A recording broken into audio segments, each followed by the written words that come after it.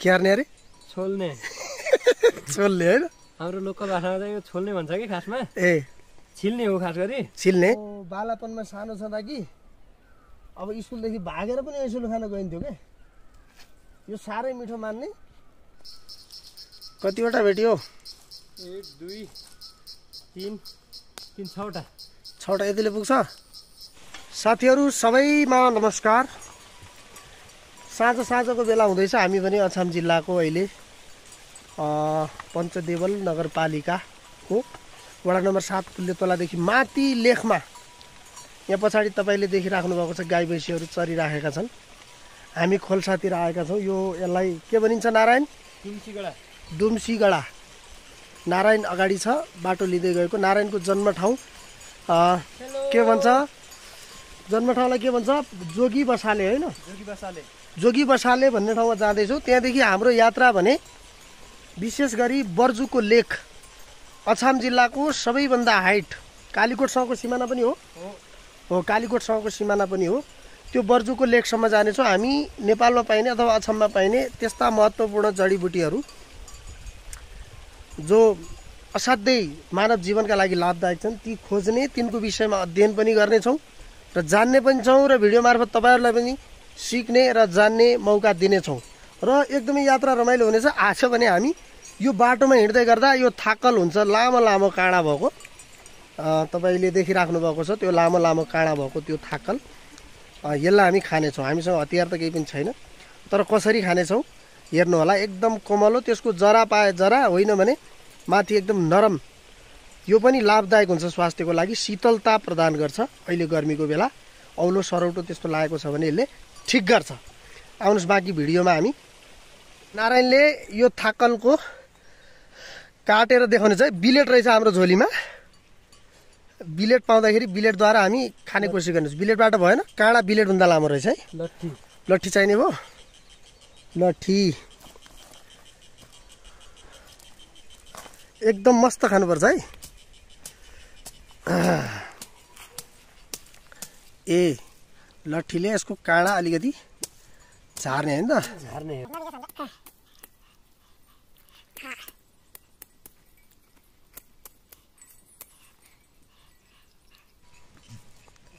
सट ए।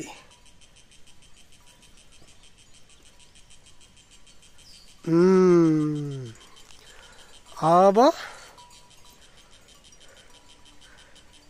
यसको काँडा निकाल्ने। बाहिरबाट यसको छाला। छोल्ने। क्यार्ने अरे? छोल्ने। चोल्ने होइन।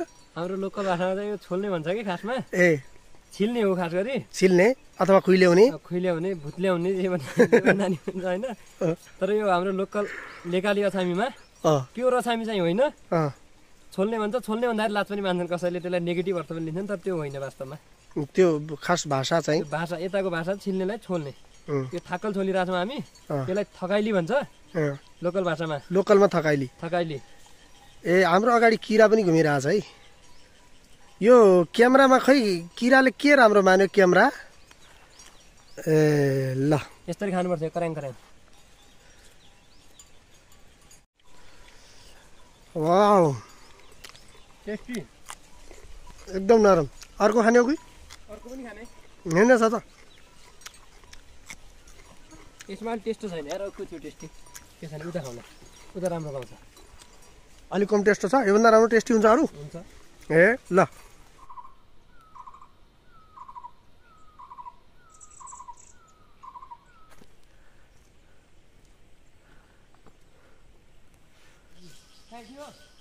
उता यहाँनिर क्या यो बाँका बाँको यो पनि बडा महत्त्व हुन्छ नि के के पाइन्छ औषधि पनि होइन औषधि यसले जुन सर्दी सरौटो हुन्छ त त्यसलाई यसले हटाउँछ यसको गानो हो यो यहीँबाट फल्ने हो यो ए यो गानो छोडिदियो भने अर्को वर्ष यसैमा उम्रिन्छ अर्को गानो हुँदैन यसको अच्छा एउटै हुन्छ यसको एउटै हो एउटै हो पलाउने पनि एकचोटि टिप्यो भने अर्कोचोटि पलाउनु पनि पलाउँदैन यो अर्को वर्ष पलाउँछ यो फेरि अर्को वर्ष पलाउँछ यही यही हुन्छ यसमा। योचोटि चाहिँ सुरुमा यसले यो साइडबाट हाले हो। यो टिप्दै जाँदाखेरि त्यो साइडमा आउँदैन फेरि अर्को साइड अर्को साइड यसो गर्दा गर्दै यो पोर्साल यहाँ थियो। यो साल यहाँ हाल्यो। अब अर्को साल यसले कता सेप लिन्छ त्यो सेपको आधारमा हाल्छ यसले। आकार लिन्छ एउटा सुरुमा। यस्तो सिजनमा। अच्छा। हुन्छ तरकारी एकदमै। एकदमै राम्रो। खाएको छु मैले खाना त। नारायणले चाहिँ बाँका खोज्दैछ परम्परागत तरकारी एकदमै पौष्टिक पनि हुन्छ। सर्दी औलो जस्तो बिरामहरूमा काम गर्छ अरे त्यसको तरकारी खाँदा। मिठो पनि हुन्छ मैले त खाएको छु। अब बाँका त मैले पनि टिप्ने हो नि त्यता। कसरी टिपिन्छ अरे यो? ए यो हालिदिने हो यसमा हालिदिने। गाडी दिनु पो परेन। पर्दैन त्यो। यो बाहिर फालिदिनु पऱ्यो नि अँ, फाल्ने त्यो। यो फाल्नु।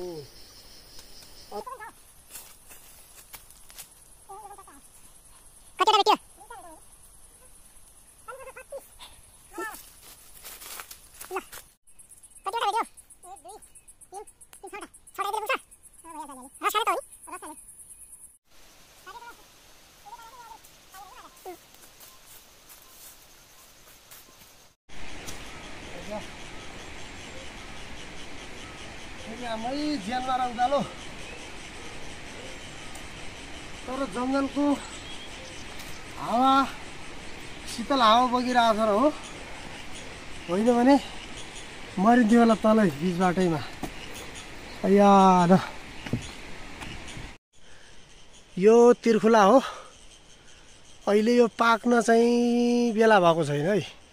पाकेको भए आनन्द आउँथ्यो। अब ऐसेलु खाने हो ऐसेलु लौ साथीहरू यो हो ऐसेलु पाकेको छ। भर्खर सिजन हुँदैछ यसको। भर्खर सुरु भएको पाक्ने हो पनि। यो खाने हो। ओहो बालापनमा सानो छँदा कि अब स्कुलदेखि भागेर पनि ऐसेलु खान गइन्थ्यो क्या यो साह्रै मिठो मान्ने। अनि बिहानै निस्क्यो साँझ ऐसेलु खाँदा खाँदै साँझ भएको थाहा नहुने घरकाले रिसाउने कहाँ गयो? भनेर खोज्ने गर्थे।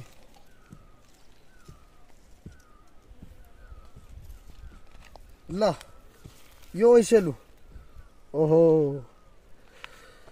कस्तो आनन्द आउँछ यो खाना कति मिठो हुन्छ भने नि। वाह। बालापनको याद आयो। यो त खेतको आलीमा अथवा यो बारीको काल्लामा भेटियो। जङ्गलतिर जाने हो भने ती राम्रो पाएको हुन्छ। आज खाने हो दिनभरि। यो हामी पुगेका छौँ जोगी बसाले भन्ने ठाउँमा है त? यो नारायणको घर। ओहो। कति राम्रो ठाउँ। यो माथि लेक यही हिमाल आज यही चाहिँ पहाड चढ चढ्ने हो। बर्जुसम्मको यात्रा। आहा कति राम्रो मोमेन्ट। त साथीहरू कस्तो लाग्यो भिडियो चाहिँ? हाम्रो यात्रा कस्तो लाग्यो? कमेन्ट गर्नु होला भिडियो मन परे सेयर पनि गर्नु होला है त? धन्यवाद नमस्कार।